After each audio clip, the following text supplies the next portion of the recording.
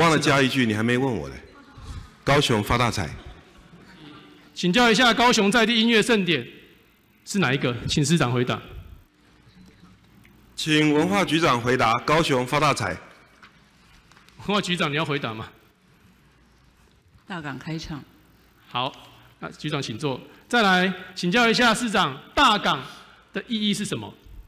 请市长回答。三个选项：阳光普照、海派好客、充足请观光局长回答。高雄发大财。哎，你不要请文化局长回答吗？好，局局观光局长。大港就是高雄啊，港都啊。上面有 A、B、C 选项，你不要回答。一定要在你的 A、B、C 选啊。大港就是港都啊，港都开唱啊。大港的意涵，它有定义啦。大港就是港口那个那个局长，文文化局代理局长是不是可以跟他讲一下？你知道，我知道你知道，是不是跟让观光局长知道一下？好，局长。你请坐，我实在是有点快受不了你的那种态度，这样充足饱满的意思。好，再来民社正篇，请教一下市长，就你上任至今四个月的期间，高雄市的人口成长多少人？请市长回答。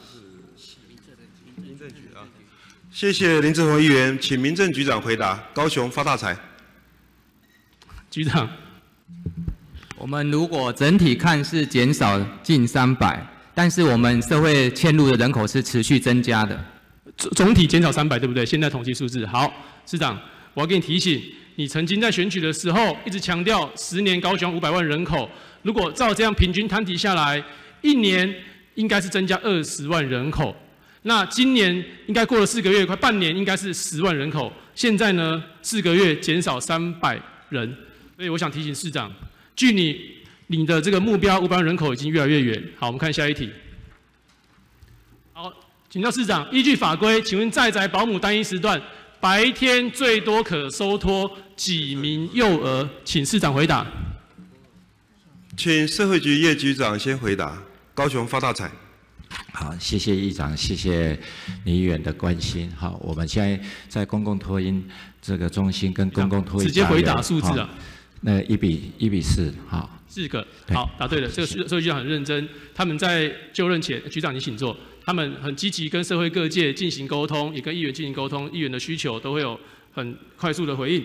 好，那请教一下市长，高雄市一般家庭跟低收家庭育儿津贴每个月补助金额分别为多少？请市长回答。请社会局叶局长回答。那个市长，你少讲一句话。